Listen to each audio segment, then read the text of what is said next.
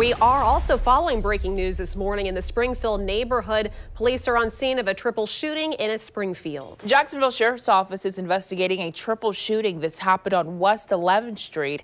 That's where we find News4JAX reporter Aaron Farrar. And Aaron, what can you tell us right now? The shooting happened a little bit before 2 o'clock, around 1.50 this morning in a house here on West 11th Street. You see several evidence markers along the sidewalk as police officers are still processing all of the evidence here. You see plenty of crime tape as well as plenty of uh, police officers' vehicles here at this scene.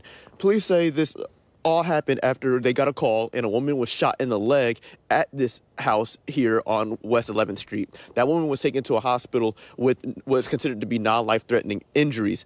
Then a little bit after that, police say another woman showed up to a hospital who was also shot in the leg at the same house.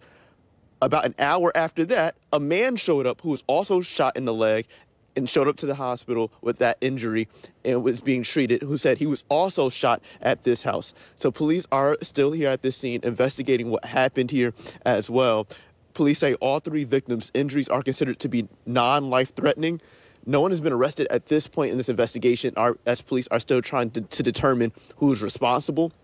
As we give you another live look at all of what's happening here on West 11th Street, again, you still see about 10 to a dozen evidence markers on the sidewalk here on the left part of West 11th Street. It's just this one block that's closed off for now.